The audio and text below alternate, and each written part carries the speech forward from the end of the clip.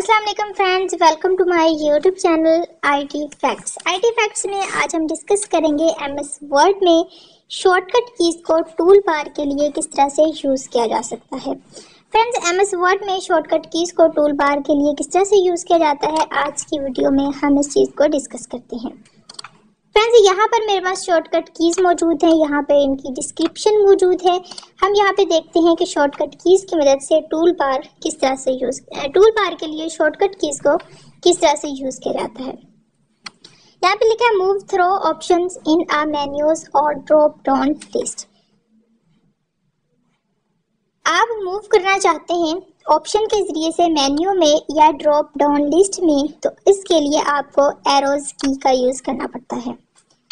यहाँ पे है select the next and previous tool bar next और प्रीवियस यानी पिछले और नेक्स्ट आने वाले टूल बार को सिलेक्ट करने के लिए कंट्रोल प्लस टैब का बटन प्रेस किया जाता है, या फिर control plus shift plus T का बटन प्रेस किया जाता है। Perform the action assign to a button perform उस एक्शन को परफॉर्म करना जो बटन को असाइन किया गया इसके लिए इंटर करें when a button is select जब बटन सिलेक्टेड हो और इंटर करें बटन को सिलेक्ट करने के बाद इंटर करें तो वो बटन जो भी उस बटन को आप, जिसको बटन को सिलेक्ट करेंगे, जिस पे बटन को आप सिलेक्ट करेंगे, और उस पर सिलेक्ट करने के बाद उसको इंटर करेंगे तो उस बटन को जो काम असाइन किया गया होगा, वो परफॉर्म करेगा। उसके बाद है enter text in a text box text box में टेक्स्ट को इंटर करने के लिए इंटर करें। जब आप टेक्स्ट बॉक्स को सिलेक्ट किया होता है तो उसके अंदर इंटर करें। तो सिलेक्ट करने के बाद टेक्स्ट बॉक्स को तो आपको वहाँ पर टेक्स्ट इंटर कर सकेंगे। मेन्यू को ओपन करने के लिए, उस मेन्यू को मेन्यू जब टूल बार पर मौजूद हो, मेन्यू को इंटर करें। जब मेन्यू टूल बार पर मौजूद हो तो इंटर का बटन प्रेस करें। इस तरह से आप मेन्यू को ओपन कर सकते हैं। Make a menu bar active एक मेन्यू बार को एक्टिव बनाने के लिए F10 का बटन प्रेस किया जाता है। सिलेक्ट द नेक्स्ट और प्रीवियस बटन और menu on the tool bar previous button को या नेक्स्ट बटन को या मेन्यू को टूल बार पर कहता है सिलेक्ट नेक्स्ट या प्रीवियस बटन को या मेन्यू को टूल बार में सिलेक्ट करने के लिए टैब का बटन प्रेस करें या फिर शिफ्ट प्लस टैब का बटन प्रेस करें व्हेन आर टूल बार ठीक है? उसके बाद यहाँ पर है keys for working with document outline outline document outline के लिए कीज वर्किंग किस तरह करती हैं? यहाँ पे है expand text under a heading text को हेडिंग के अंडर करने के लिए alt plus shift plus plus का बटन प्रेस किया जाता है। उसके बाद है को call collapse text under a heading इसके लिए आपको alt plus shift plus minus का बटन प्रेस करना पड़ता है। एक्सपेंड और कॉल कोलैप्स आल टेक्स्ट और हेडिंग आल टेक्स्ट और हेडिंग को एक्सपेंड करने के लिए या कोलैप्स करने के लिए alt plus shift plus A का बटन प्रेस किया जाता है। Show all headings with the heading one style जो हेडिंग वन स्टाइल होता है, जब भी हम एम एस वर्ड को ओपन करते हैं, और जब होम के टैब पर स्टाइल का ऑप्शन आता है, वहाँ पर heading one two sub heading heading तमाम हेडिंग्स लिखी होती हैं। वहाँ पर अगर हम शो ऑल हेडिंग्स तमाम हेडिंग्स को स्टाइल वन के साथ हम शो करवाना चाहते हैं तो alt plus shift plus all का आई का बटन प्रेस किया जाता है।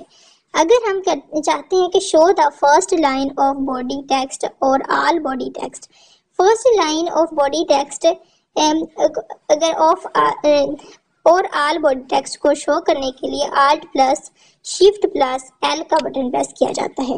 एक पैराग्राफ को प्रमोट करने के लिए alt plus shift plus left arrow का बटन प्रेस किया जाता है। Show all heading up to heading N alt plus shift plus N का बटन इसके लिए प्रेस किया जाता है। डीमोट अ पैराग्राफ एक पैराग्राफ को डीमोट करने के लिए alt plus shift plus right का बटन प्रेस किया जाता है। उसके बाद फ्रेंड्स यहाँ पे है मूव सिलेक्टेड पैराग्राफ अप जो सिलेक्टेड पैराग्राफ होता है, उसको अप में मूव करवाने के लिए alt plus shift plus A थी का बटन प्रेस किया जाता है। उसके बाद move selected paragraph down selected paragraph को डाउन में मूव करवाने के लिए alt plus shift plus A T और ये इस तरह से फॉर्मेटिंग का बटन होना चाहिए। यहाँ पर भी और यहाँ पर भी। इस तरह से फॉर्मेट बटन को प्रेस किया जाता है और ये मूव करता है। Demote to body text body text को डिमोट करने के लिए control plus shift plus N का बटन प्रेस किया जाता है।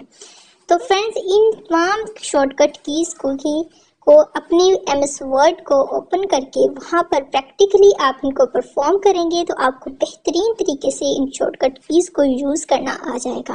मैंने आपको इन शॉर्टकट कीज़ के बारे में बता दिया है एंड देन मैंने आपको यहाँ पर ये भी बता दिया है कि आप इन शॉर्टकट कीज़ को की इन डिस्क्रिप्शन क्या है, किस लिए इनको यूज़ कर सकते हैं, अब आप इनको प्रैक्टिकली परफॉर्म करके देखेंगे तो आपको बेहतरीन तरीके से उनको यूज़ करना आ जाएगा। फ्रेंड्स यहाँ पर हम नेक्स्ट वीडियो में इन तमाम को डिस्कस करेंगे विद विद फील्ड्स के साथ किस तरह से वर्किंग की जा सकती है शॉर्टकट कीज़ में, और फ्रेंड्स हम इसको अभी डिस्कस करते हैं कि यहाँ पर है a list num field num a list num field के लिए control plus control plus control plus L का बटन प्रेस किया जाता है। उसके बाद है switch between all field codes and their result alt field के कोड्स और इनके रिज़ल्ट के बिटवीन स्विच करने के लिए आल्ट प्लस एफ़ नाइन का बटन प्रेस किया जाता है। ए आर डेट फ़ील्ड के लिए alt plus shift plus D का बटन प्रेस किया जाता है। Run go to the button on macro button from the field and display the field result go to के बटन को रन करने के लिए मैक्रो बटन पर from fields that display the field result के लिए alt plus shift plus F nine का button press किया जाता है। आ पेज फ़ील्ड के लिए alt plus shift plus P का बटन प्रेस किया जाता है। आ टाइम फ़ील्ड के लिए alt plus shift plus T का बटन प्रेस किया जाता है। लॉक आ फ़ील्ड के लिए कंट्रोल प्लस एफ़ एलेवन का बटन प्रेस किया जाता है। एन एम्पटी फ़ील्ड के लिए control plus F nine press किया जाता है। अनलॉक आ फ़ील्ड एक फ़ील्ड को अनलॉक करने के लिए control plus shift plus F eleven का बटन प्रेस किया जाता है। अनलिंक आ फ़ील्ड इस एक फ़ील्ड को अनलिंक करने के लिए control plus shift plus F nine का बटन प्रेस किया जाता है। Go to the next field के लिए F11 का बटन प्रेस किया जाता है। अपडेट द सिलेक्टेड फील्ड्स को के लिए F9 का बटन प्रेस किया जाता है। प्रीवियस फ़ील्ड में जाने के लिए शिफ्ट प्लस F11 का बटन प्रेस किया जाता है और एक फ़ील्ड के कोड्स और इसके रिज़ल्ट के बिटवीन स्विच करने के लिए शिफ्ट प्लस F9 का बटन प्रेस किया जाता है। तो फ्रेंड्स ये थी हमारी आज की इन्फॉर्मेटिव वीडियो हमारी नेक्स्ट वीडियो के लिए हमारे चैनल को सब्सक्राइब कीजिए. बेल आइकॉन पर क्लिक ज़रूर कीजिएगा, ताकि आने वाली वीडियोस के तमाम नोटिफिकेशन आपको प्रॉपर मिलते रहें।